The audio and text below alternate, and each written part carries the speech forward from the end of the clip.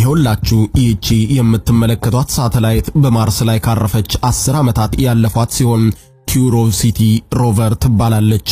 አሁንም በማርስ ላይ በምታደርጋቸው ጠቃሚ መረጃዎችን ወደ ምድር መላኳን የቀጠለች ሲሆን የሰው ልጆችንም በየጊዜው በምታገኘው አዳዲስ ነገር ወቸ ጉድ እያሰኘች ነው።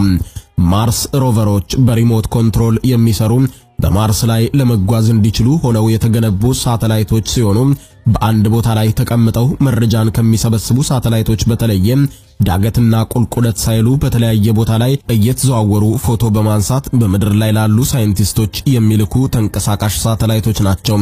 በአጠቃላይ ስኬታማ የሆነ ውጤት ያስገኙ ስድስት ማርስ ሮቨሮች ማርስን የረገጡ ሲሆን በአውሮፓውያኑ 1997 ማርስን የረገጠው ሶጆርነር የተባለው ሳተላይት በአውሮፓውያኑ 2004 ማርስን የረገጠችው ስፒሪት ኦፖርቹኒቲ እንዲሁም በዛሬው ዝግጅቴ የማሳያችሁ አዳዲስ ግኝቶችን የላከችውን ኪዩሪሲቲን ጨምሮ በአሜሪካው ናሳ ቁጥጥር ስር ሲሆኑ የቻይና መንግስት በብሔራዊ የህዋ አስተዳደሩ የሚቆጣጠረው ዥሮንግም ከማርስ ሮቨሮች ውስጥ የሚጠቀሱ ናቸው።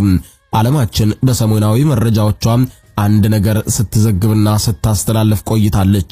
ከነዚህ ተንቀሳቃሽ ሳተላይቶች በተለይም ደግሞ ኪዩሪሲቲ ከተባለችው ተንቀሳቃሽ ማርስ ዳሳሽ አዳዲስና ስለ ማርስ ፈጽሞ ከዚህ በፊት ያልታወቁ መረጃዎችን ይፋ አድርገዋል። ህዋው፣ ጠፈሩ፣ ዓለሙ እጅግ ሰፊ ነው። እስኪ እነዚህ በማርስ ላይ የሚንቀሳቀሱ ተንቀሳቃሽ አካላት ያስተላለፏቸውን አስገራሚ መረጃዎችን ላስቃኛችሁ። ይህንን ቻናሌን subscribe በማድረግ የደወል ምልክቷን በመጫን በየዕለቱ አነጋጋሪና አስገራሚ ፕሮግራሞችን እንድትከታተሉ ጋበዝኩኝ። ማርስ ላይ ወደ ተገኙት አስደናቂ ነገሮች እንለፍ። አንደኛ፣ ማርስ ለህይወት አመቺ መሆኑ። የምንኖርባት ምድር መሬት ለህይወት ምቹ ነች። ሌሎችስ ፕላኔቶች?